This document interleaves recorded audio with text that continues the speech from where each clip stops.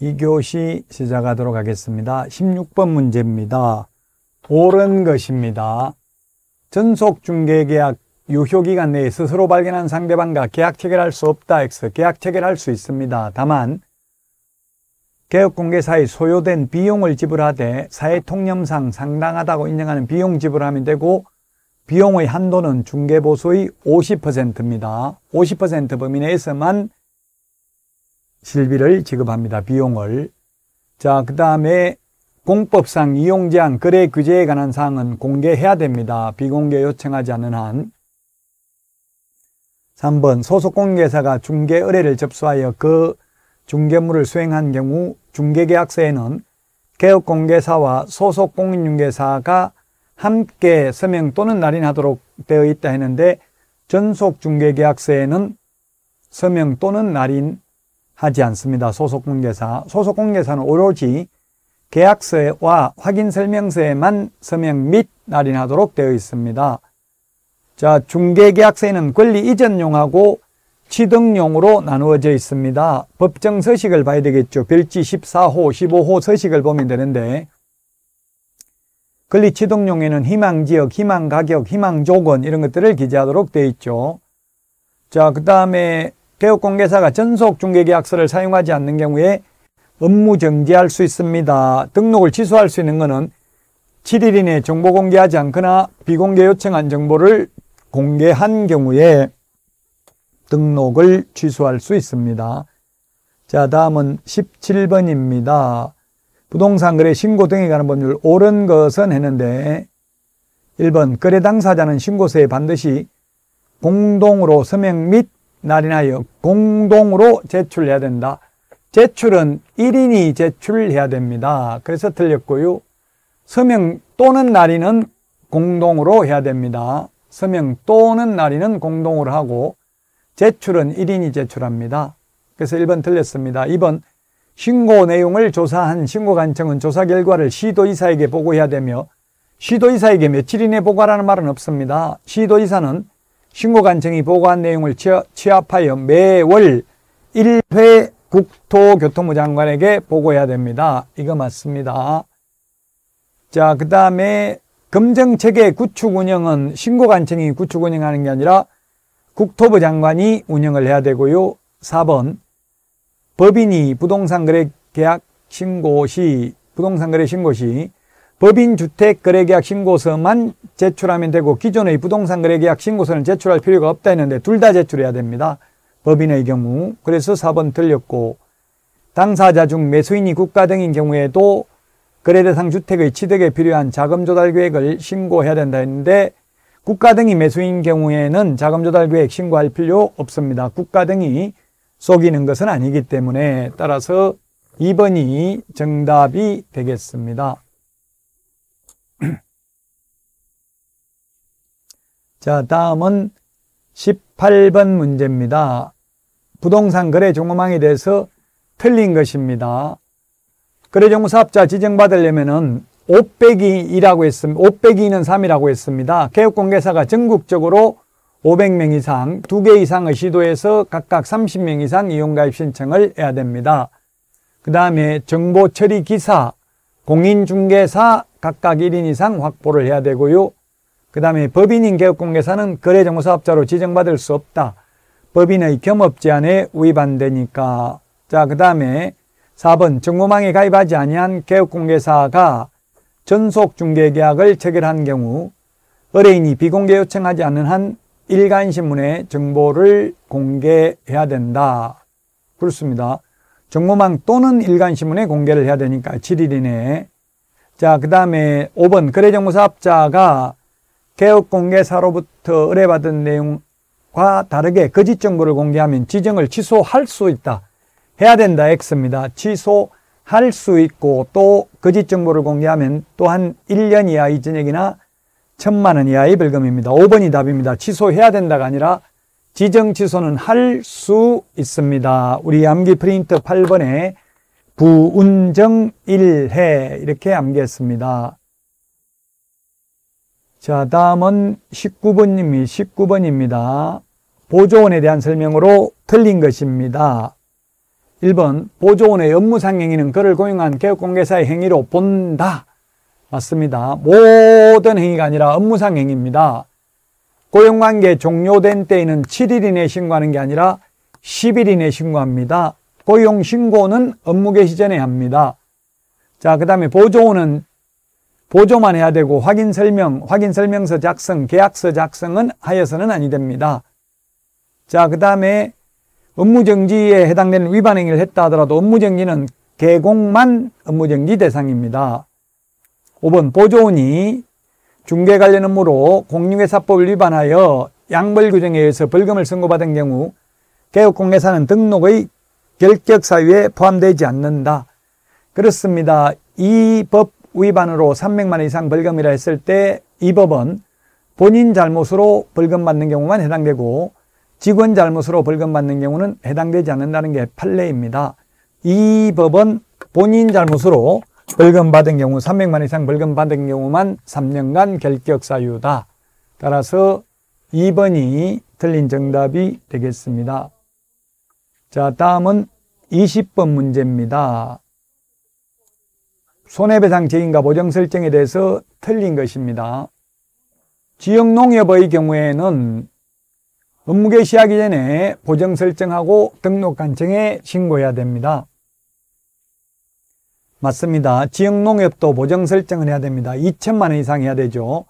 그 다음에 2번 손해배상을 한 때에는 15일 이내에 재보정 설정을 해야 됩니다.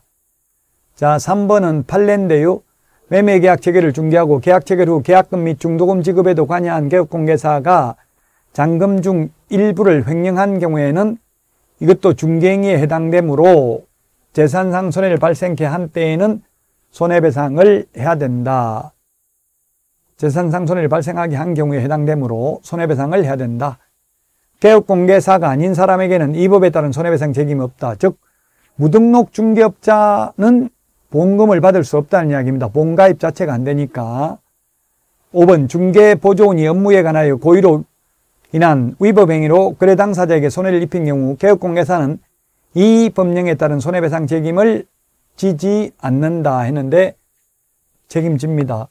책임 손해배상 책임 세 가지입니다. 개업공개사의 고의가실이 있거나 또는 고용인의 고의가실이 있거나 또는 다른 사람의 중개행위 장소로 제공하여 의뢰인에게 재산상 손해가 발생한 경우에 손해배상 책임이 있습니다. 그래서 5번이 정답이 되겠습니다. 자, 다음은 21번입니다. 포상금 제도입니다.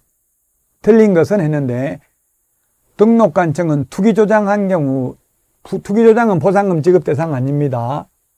어, 포상금 지급 대상이 무부양, 무부양, 광시, 공시, 포상금 지급 대상이죠.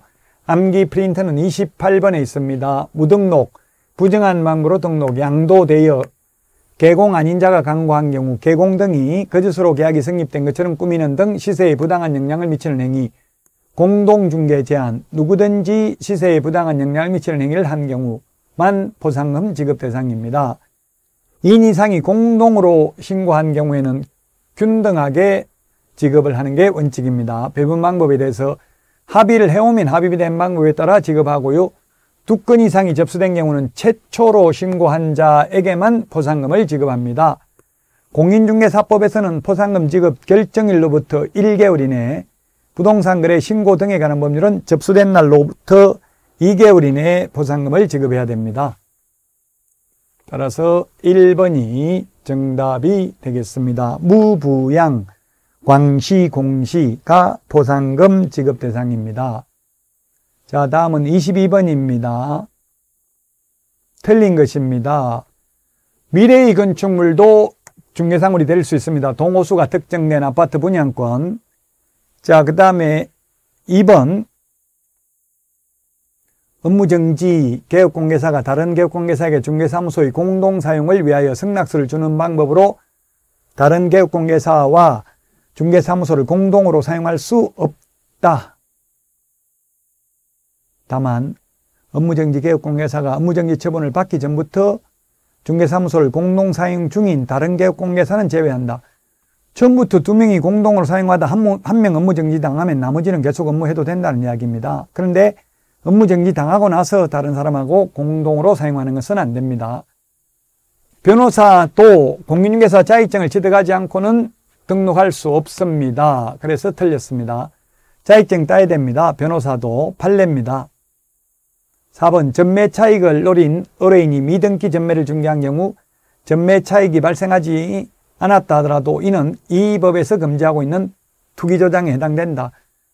탈세를 목적으로 했잖아요. 미등기 전매 취득세를 탈세할 목적이 있었으니까요. 맞습니다.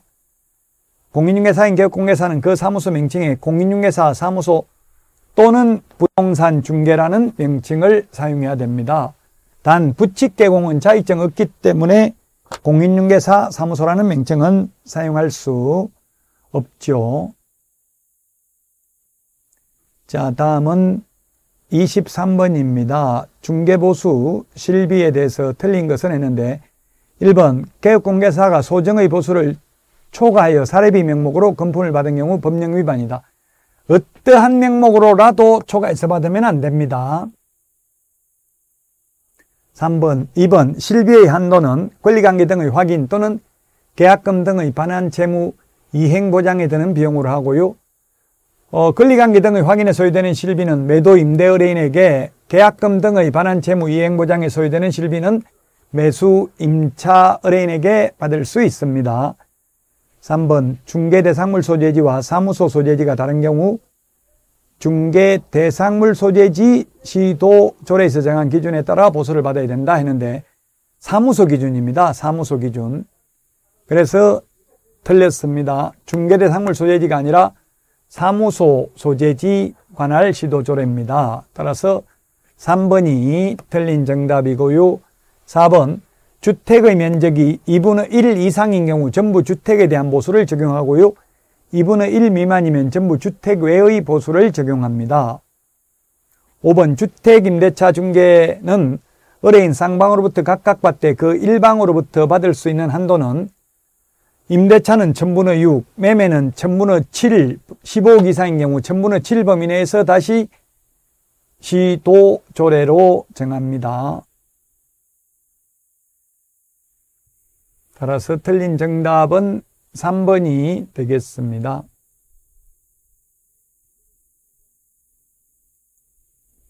자, 다음은 24번입니다. 업무정지에 대해서 옳은 것인데 1번 업무정지 기간은 가중처분하는 경우 6개월을 초과할 수 있다 했는데 6, 법에 6개월 이하라고 되어 있고 개별 기준은 국토교통부 령에 있습니다. 국토교통부 령이 법률을 위반할 수는 없죠. 법률 위반하면 효력이 없습니다. 무효입니다. 그래서 가중하는 경우에도 6월, 6월을 초과할 수 없습니다. 만약 개별 기준이 6개월이면 이 개별 기준의 2분의 1 범위 내에서 더하거나 빼줄 수 있는데 아무리 더하더라도 9개월은 안 되고 6개월에서 3개월 사이에서 공무원이 재량권을 행사할 수 있다는 이야기입니다. 이번 등록관청은 법인인 개업공개사에게 업무 정지를 명하는 경우 분사무소별로 명할 수 있습니다. 명할 수 있다. 해야 된다가 아니라 그래서 X고 3번 부정한 방법으로 등록한 경우 등록을 취소해야 됩니다. 자, 그 다음에 업무정지는 그 사유가 발생한 날로부터 3년 넘으면 업무정지 못합니다. 소위 재책기간입니다. 5번 등록관청에 무정지 처분을 하고자 하는 경우 청문을 실시해야 된다 했는데 청문은 취소 3개만 청문합니다. 자격 취소, 등록 취소, 지정 취소, 취소 3개만 청문합니다. 업무정지, 자격정지의 경우 청문을 하지 않습니다. 자, 다음은 25번입니다. 틀린 것은 했는데 협회 지부 지회 설치 시에는 시 도지사에게 신고해야 된다 했는데 지회는 등록관청에 신고하고 지부만 시도지사에게 신고합니다. 그래서 1번이 틀린 정답이고요. 협회는 부동산 정보 제공에 관한 업무 할 수 있고요. 지금 한방이라는 정보망을 운영하고 있고요. 총회 의결 내용은 지체 없이 국토부 장관에게 보고합니다. 국토부 장관은 협회 임원이 공제 규정을 위반하여 업무를 처리한 경우 등에 해당하여 공제사업을 건전하게 운영하지 못할 우려가 있는 경우 그 임원에 대한 징계 해임을 요구하거나 해당 위반 행위를 시정하도록 명할 수 있고요. 그 명령을 따르지 않는 경우는 협회는 오로지 500만 원 이하의 과태료입니다. 5번 협회는 공제사업 운용 실적을 매 회계연도 종료 후 3개월 이내에 일간신문 또는 협회보에 공시하고 협회 인터넷 홈페이지에도 게시해야 됩니다. 1번이 정답입니다. 지부 설치는 시도지사, 지회 설치는 등록관청의 사전신고가 아니라 사후신고입니다. 자, 수수료 납부 대상이 아닌 것, 암기 프린트 52번에 있는데요. 소속 공개사 고용신고 수수료 내라는 말 없습니다. 자격증을 처음에 교부할 때도 수수료 안 내죠? 자격증 재교부는 수수료 내는데 자격증 처음 교부할 때도 수수료 내지 않습니다. 암기 프린트 52번에 19개 수수료 내는 것 정리되어 있습니다.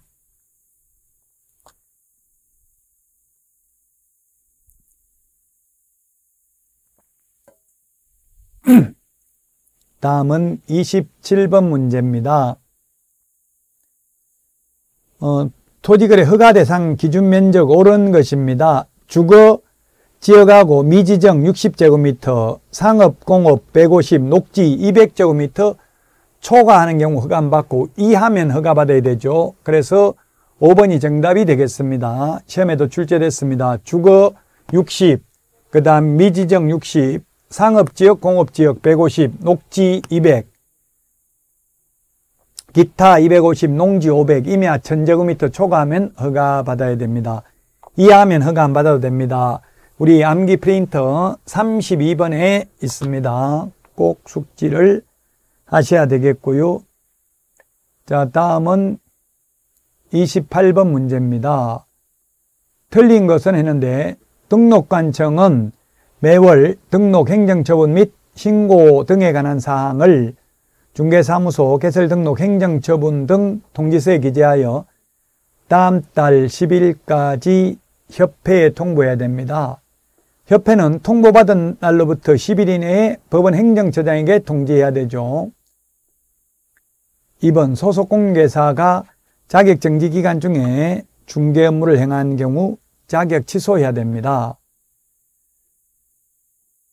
맞습니다. 3번 공인중개사가 거래계약서에 거래금액을 지나치게 적은 금액으로 기재한 경우 자격 취소 사유가 된다 했는데 자격 정지 사유입니다. 자격 취소는 아니고요.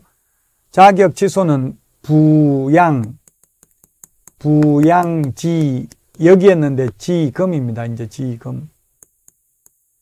부정한 망보로 자기 취득한 경우 양도되어 그 다음에 성명 사용, 자격 정지 기간 중에 업무하거나 2번 및 업무 관련 법령으로 금고 이상의 집행유예만 받아도 자격 취소입니다. 사문서 위조, 횡령, 배임, 범죄단체 조직 등의 혐의로 지금 전세 사기에 연루된 사람을 범죄단체 조직 혐의로 기소한 경우도 있습니다. 다운 계약서, 업 계약서 적으면 자격 정지할 수 있고요. 물론 다운 계약서 적어가지고 사문서 위조로 징역의 어, 금고 이상의 집행유예가 선고되면 물론 자격 취소되겠죠. 그냥 다만 다운 계약서, 계약서, 이중 계약서 그 자체는 자격 취소 사유는 아닙니다. 자, 그 다음에 3번이 답이고요. 4번 개업 공인중개사가 이 법을 위반하여 업무정지 처분을 받은 후 그 위반 행위로 다시 300만 원 이상 벌금을 선고받은 경우에는 등록 취소 사유에 해당된다. 그렇습니다. 공인중개사법 위반으로 300만 원 이상 벌금 받으면 결격 사유에 해당이 됩니다. 자, 그 다음에 5번 중개행위를 한 소속 공인중개사가 그 중개사물 확인 설명서에 서명 및 날인하지 아니한 경우 자격 정지 사유다. 그렇죠. 어, 자격 정지 사유인데 서명 및 날인하지 않는 경우는 개업공개사는 업무정지, 소공은 자격정지입니다. 시험에 업무정지 사유에 해당되면서 또한 자격정지 사유에 해당되는 것은 이렇게 시험에 출제됐습니다. 서명 및 날인하지 않는 경우 그렇습니다. 소속공개사가 서명 및 날인하는 것은 오로지 계약서 확인 설명서에 당의 업무를 수행한 경우에만 개업공개사와 함께 서명 및 날인해야 됩니다. 보조원은 서명 및 날인하라는 말도 없고 하면 안 된다는 말도 없는데 시험에 보조원도 개업공개사와 함께 서명 및 날인해도 법령 위반은 아니라고 출제되었습니다. 자, 이번 시간 여기까지 하고요. 쉬었다가 29번 문제부터 풀도록 하겠습니다.